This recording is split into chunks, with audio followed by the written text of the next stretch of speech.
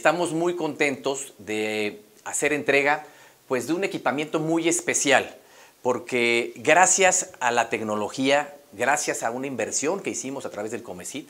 es que podemos tener equipos como estos, en donde eh, los médicos pueden hacer sus prácticas, pueden entrenar, pueden practicar y simular intervenciones, operaciones que les permita pues, eh, tener mayores destrezas y eh, pues un proceso de aprendizaje mucho más estricto y además pues mucho más seguro para los pacientes.